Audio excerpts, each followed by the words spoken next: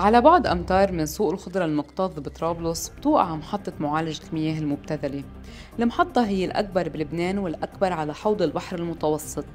اللي بيمرق من حدها بيشوف حجمها والتقنيات المتطورة فيها وبيتوقع أنه الوضع مثالي ومشكلة تلوث المياه انحلت بالكامل بشمال لبنان. إنما هالمحطة حتى اليوم وبعد نحو 15 سنة على انطلاقها بتشتغل بالحد الأدنى وبتكتفي بالمعالجة الأولية. فوين راحت الأموال اللي خصصت إلها؟ وبلغت أكثر من 100 مليون يورو. المحطة ما أدت دورها بسبب عدم اكتمال توصيلات الشبكات وغياب الرؤية المتكاملة والإدارة السليمة لقطاع الصرف الصحي. في هلأ الروايح وقت اللي بتشوب الدنيا بتصير ريحة العنايات بتطلع علينا. في برغش كثير عندي بنت معها cancer. يعني هيدي الروايح ما بتأثر يعني ما بتناسبها بتأثر على صحتها. هي مايا مريضة cancer هي مصابة بال cancer كان عمرها أربع شهور. آه، كفينا علاجها أخذت chemo عملت راديو عملت استئصال للمرض. آه، بس حكيمة أكيد بفضل إنه تكون مايا بوضع صحي يعني بهواء يكون نظيف ما يكون كتلوث إنه هيك. يعني ما يكون إنه مية مجارير مية نفايات. كل فترة بتلاقي العناية بتفلت على الأوتستراد هون عنا. أنا على بنتي لأنه هيدا الشيء كلياته بيضرها هيدي الروايح كلها بتأثر عليها. يعني بالقليل إنه يكون بس جو نظيف يعني انت مثلا عايشة حد نهر والنهر إنه يعني لازم تكون ميته نظيفه آه بالقليل يعني ما في زبالة بقلبه ما في انايات تنزل عليه. يعني آه، النهر بيقدروا يستخدموا منه أشياء كثيرة. يعني بتلاقي العالم تطلع على عكار لتعمل مشوار هي وعائلتها على النهر. ما نحن في عنا نهر هون.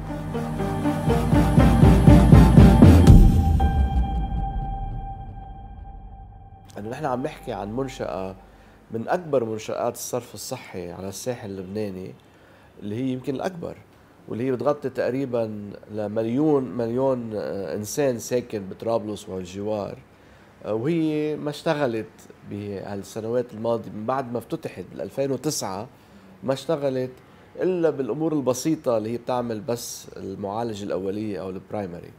فهون السؤال إنه نحن ليش عندنا هيدي الاستثمارات الكبيرة اللي صارت؟ إن كانت عبر مساعدات أو قروض أو من تمويل من الخزينة من الدولة وهي آه، بقيت من دون تشغيل.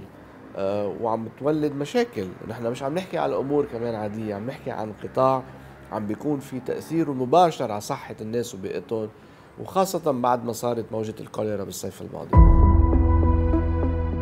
سنة 1997 تمت الموافقة الأوروبية على إقراض الدولة اللبنانية لبناء محطة تكرير المياه المبتذلة بحوض طرابلس.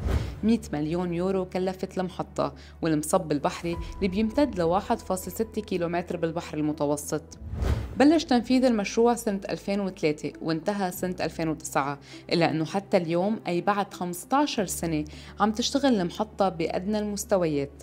السبب أنه المعالجات المتقدمة بتتطلب كحد أدنى 60 متر مكعب من المياه المبتذلة حتى تشتغل ومع غياب التوصيلات بيوصل اليوم للمحطة ما لا يزيد عن 45 متر مكعب. كسنترلايزد waste water treatment plant من المفروض إنها تستقبل waste water ب capacity أقل شيء 30% من ال capacity تبعت ال plant لتقدر تشتغل. غير هيك حنضلنا بال preliminary treatment وإذا بقينا بال preliminary treatment ما عم نعمل شيء. يعني أنا محطة بتحتوي على preliminary primary secondary و tertiary إجي أقول إنه أنا بدي شغل فيها بس preliminary لأنه ما قادرة أوصلها. it's matter of concern هي شغل. بنشتغل بالقلب مثل ما بيقولوا. يعني نحن بدل ما نجي نوصل ال infrastructure لأنه ال infrastructure بالنهاية 80% من سعر تكلفة التكرير. يعني أنا شو بيجي بعمل؟ أنا اللي عملنا العكس نحن جينا عملنا محطة بعدين جينا قلنا خلينا نشوف إذا فينا نوصل هال infrastructure صار الاتفاق بين الحكومة اللبنانية والبنك الأوروبي للاستثمار EIB على مشروع من أجل دعم إنشاء شبكة مياه صرف صحي بمدينة طرابلس ومحيطها سنة 2019 بيشمل هالمشروع نوعين من التمويل.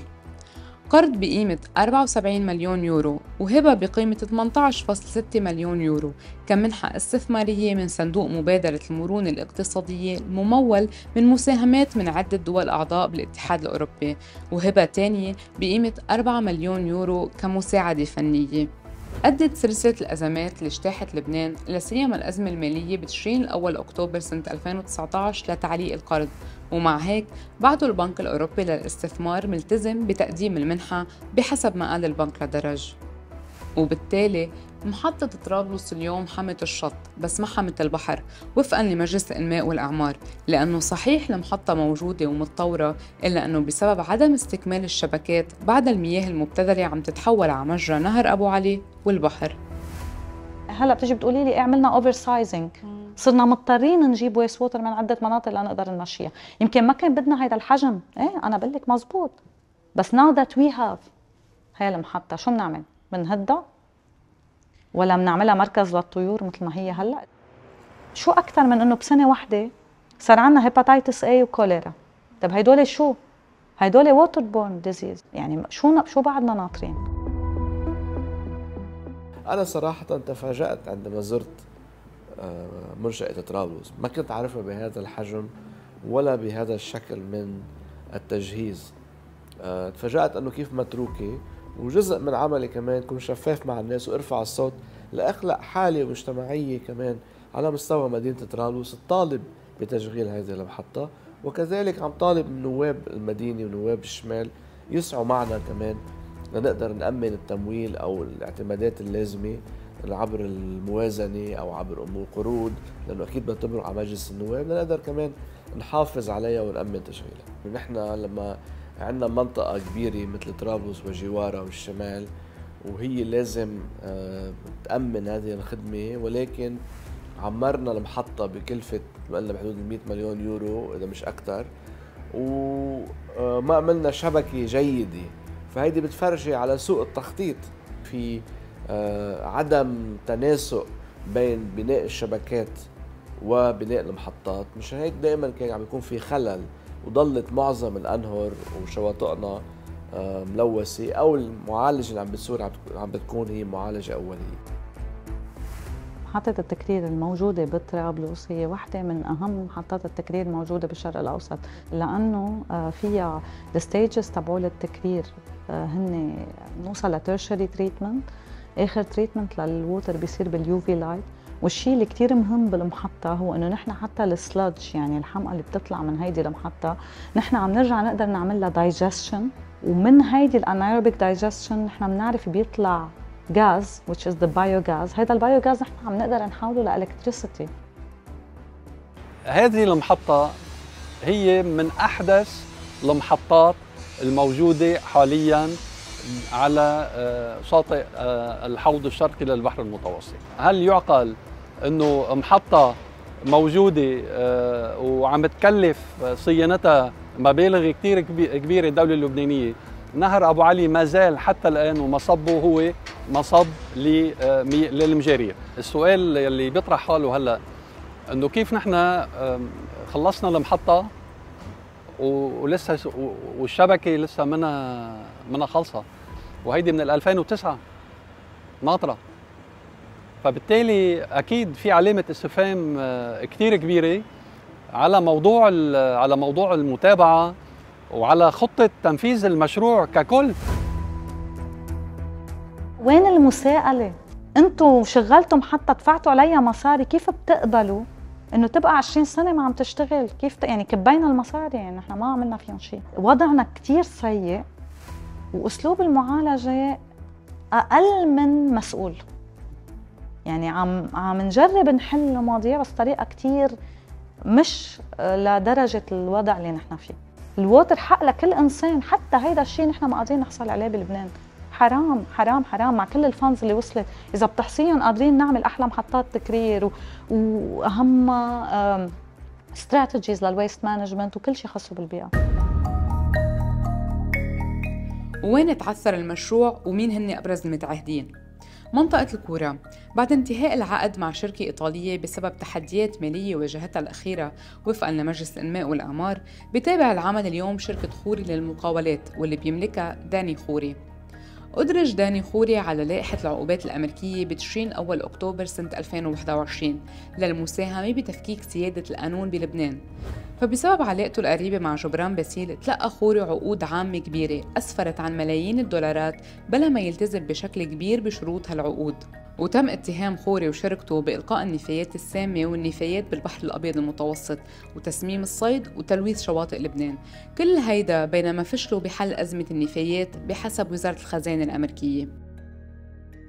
أكد المتحدث باسم البنك الأوروبي للاستثمار لموقع درج أنه بعد ما أثرت العقوبات الأمريكية على شركة خوري للمقاولات أطلقت بعثة الاتحاد الأوروبي بلبنان تحقيق لمكتب مكافحة الاحتيال الأوروبي أولهاف للتحقيق من الاتهامات المذكورة مع العقوبات.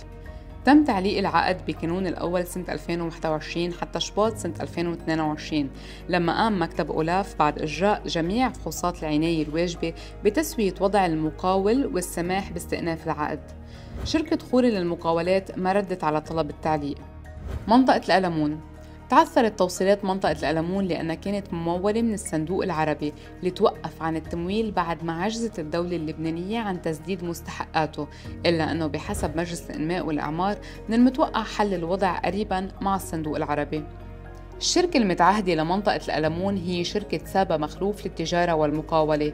نشرت جريدة الأخبار سنة 2019 أنه هالشركة هي كمان المتعهدة بمحطة تكرير المياه المبتذلة بجنوب صيدا اللي ما عم تشتغل من بدء العمل فيها سنة 2010 إلا على فصل الحمقى عن السائل بمليون دولار سنويا بينما ما بتتعدى كلفة تشغيل الحقيقية 250 ألف دولار.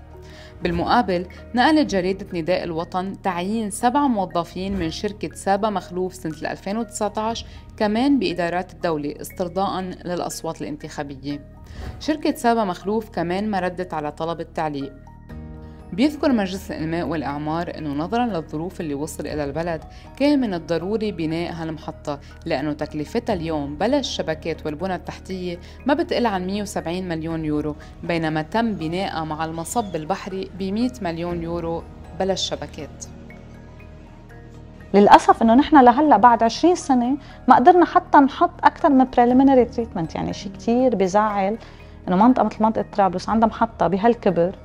بهالأهمية منا قادرة تشغلها لأنه للأسف بطرابلس نحن صار في عنا آه، آه، نوع من قناعة رسخت إنه دائما المشروع بيجي شيء وبيتنفذ على الأرض بطريقة كارثية وبالتالي تهدر ملايين الدولارات والمحصلة بتكون لا شيء. كانوا بالقديم ينزلوا يغسلوا الثياب تحت. يعني أنا عن أيام ستي وجدي وعمتي كانوا ينزلوا يغسلوا ثيابهم تحت بالنهر. ينزلوا يحمموا أولادهم. هلأ في قطع مي بس ما بتسترجي تنزلي على النهر. أكيد إنه بفضل أنا لبنتي تكون إنه جو أحسن من هيك. بس إنه بالتاني إنه ما في عنا يعني ما عندي هالمدخل اللي أقدر أنا أطلع مثلا حد بنتي بمنطقة أحسن من هيك. إنه بتأمل أنا إنه يزبط إنه وضع هيك النهر. لأنه نحن هلأ من الساعة 5 ونص 6 ما بقى فيك تطلعي لبرا. لأنه روايح كلياتها انايات يعني أنا ببنتي لو ما في حكيمة لو ما في جمعيات هون بطرابلس ساعدتني أنا ماني كنت قادرة أعالج بنتي. وبعدني لحديت هلا لو ما أهل طرابلس وجمعياتها أنا ما قدرت كفيت علاج بنتي. 20 سنة مرقت مع بداية مشروع شبكات مياه الصرف الصحي لحوض طرابلس الكبرى سنة 2003 اللي كان بيهدف لتوفير معالجة متقدمة لمياه الصرف الصحي بطرابلس وبتفيد حوالي مليون مقيم. للأسف وبالرغم من القروض والهبات الأوروبية لهالمشروع وعلى الرغم من وجود وحدة من أكثر محطات معالجة المياه تقدما بمنطقة البحر المتوسط إلا أنه هالمشروع ما نجح لليوم بتحقيق أهدافه المنشودة خصوصا بالحد من التلوث ومعالجة المياه المبتذلة بشكل متقدم. وبعدها لليوم المياه الملوثة بتتحول على مجرى نهر أبو علي ومنه على البحر المتوسط تحت نظر الجهات الأوروبية اللي أولويتها بهالمشروع هي حماية البحر. وبالوضع الراهن ومع الظروف الصعبة اللي عم يمرق فيها البلد من الواضح أنه الهدف بعده بعيد المنال بينما بيستمر سكان طرابلس بانتظار تحسينات طفيفة بظروفهم المعيشية الصعبة.